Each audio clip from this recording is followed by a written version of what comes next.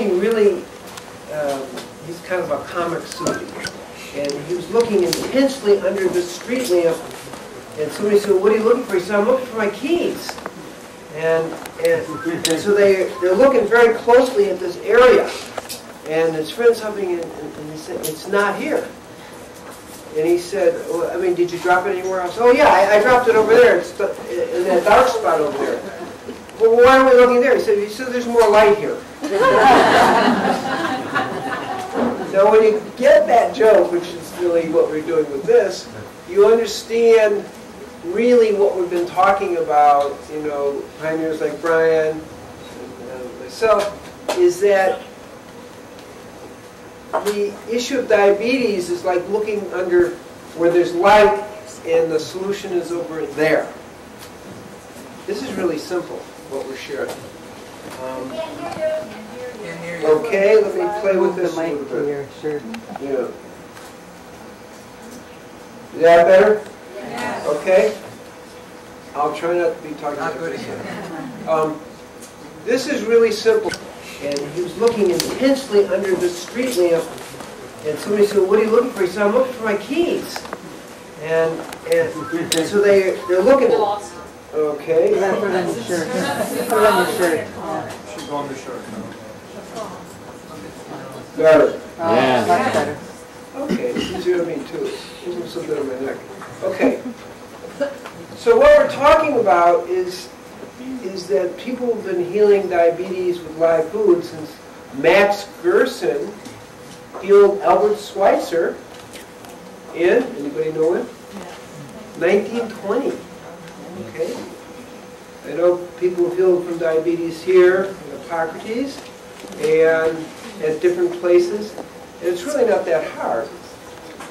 And how this book got written is that we did this movie, which you're going to get to see. You're going to get to see the eight-minute short um, at the tree, and we just took six McDonald's people and who had no clue about live foods, but had diabetes. Two of them had type 1. And one of them ended up healing in two weeks of type 1, part of the nursing. And we just put them on a life diet plus a few other things and did our whole program. Uh, we train them in conscious eating, how to, how to prepare the live foods, and so forth. Um, and also, I'll talk a little louder. And also, we did the uh, psycho-spiritual training to help them let go of their addictions. And we have really dramatic results, which you'll see some charts here. Um, that will give you an idea of how powerful it is, how really powerful it is. And in a way, how many people here are into live foods? So, okay. So, we're speaking to the choir. That's good, because this is something to share. Is the results were really phenomenal, and this may be a way, it may be a way to get the rest of our society from trying to not be like Sheikh Nasruddin, looking under the lamp post when the answer is over there.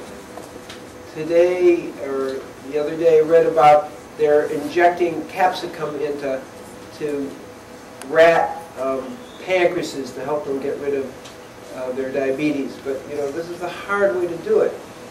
Diabetes is a symptom, just like global warming, of the culture of death. We'll go through that in just a minute. And we're talking about the culture of life. The culture of life means heart-centered life. It means feeling connected. It means feeling at one. The culture of death is commercial food, high sugar, high meat diet. Um, it means really a disconnection from life. And diabetes is a symptom of that. And it's a worldwide symptom. There's 246 million people with diabetes around the world. One person dies of diabetes every 10 seconds. The United Nations, yeah, it's pretty impressive. The United Nations has actually said that it's now a, a world epidemic. Not that they're doing anything about it, but they've said something about it, which is the start.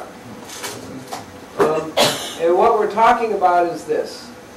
Society is always taken by surprise by any new example of common sense. An opening, it may be an opening for this society and the world society begin understanding about common sense in terms of nutrition. It just may be. And in the United States, there's about 21 million people with diabetes and about, according to the different estimates, about 54 million people who are pre-diabetic. What does pre-diabetic mean? It means in 10 years, most likely, all those pre-diabetics will become diabetic. Okay. It means you have a certain high level of insulin resistance that is speeding up your degeneration. What are we talking about? Diabetics live about a third as long. Uh, they have about a third of their life span lost. 10 to 19 years. It's very significant. And that doesn't include the fact that they have severe chronic degeneration going on that kind of ruins your life in the meantime. What are we talking about there? We're talking about 85% of the people getting blindness. We're talking 20 to 50% of the people with kidney problems. We're talking about 70% of the people with neuropathy that often results in amputation. And then pretty much once you start that cycle, five mm-hmm. years later you're dead. Okay? But you're pretty miserable in those times. Okay? We're talking about two to four times the amount of heart attacks, and 75% of the deaths from diabetes are from heart attacks because your peripheral, uh, your circulatory system begins to shut down with uh, the diabetic physiology. That's what we're talking about. So these are really uh, uh important things, and we're all, all we're talking about is common sense. So we'll, go through some of that. What we're going to do is kind of present a little bit of the statistics, a little bit of what creates it, and a little bit about uh, basic ways to heal it, talking about the live food diet. Uh, what we're going to talk about is the phase one at getting the rainbow green live food cuisine, which like Brian, we don't include the fruit because cancer cells like 10 to 50 times more sugar and food does not, food makes it worse. So these are the kinds of things that we're, we're talking about. So that's a, a starter. Okay. Now what we're seeing for the pandemic that we're looking at is in the Middle East, it's very high. Just to roughly give you some of the idea of statistics, Bahrain has 32% of the population is diabetic. Saudi Arabia is 26%. This is very high, very, very high. U.S. are running about 8% with Latino and Afro-Americans, Native Americans running twice, slightly more than twice of a, a white the Caucasian uh, population. It's still very, very high. And so we have this. Okay, here we go. The world leader in diabetes is India. Yeah, they have more diabetics than anyone else in the world. And then China, and then U.S.